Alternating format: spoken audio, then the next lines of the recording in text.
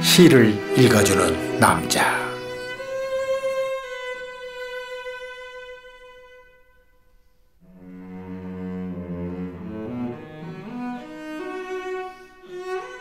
꽃 김춘수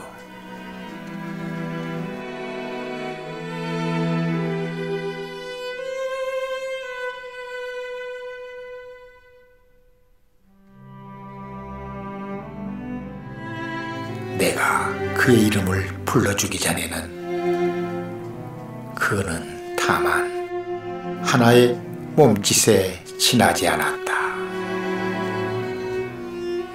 내가 그의 이름을 불러주었을 때 그는 나에게로 와서 꽃이 되었다. 내가 그의 이름을 불러준 것처럼 나의 이 빛깔과 향기에 알맞는 누가 나의 이름을 불러다오.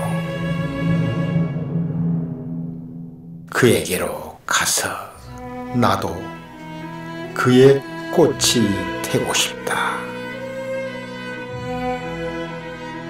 우리들은 모두 무엇이 되고 싶다. 너는 나에게, 나는 너에게 잊혀지지 않는 하나의 눈짓이 되고 싶다.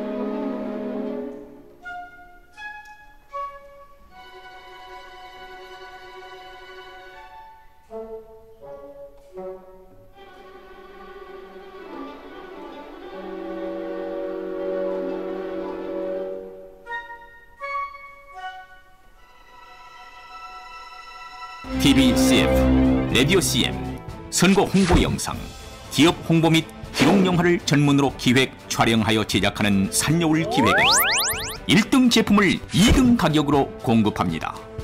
산여울 기획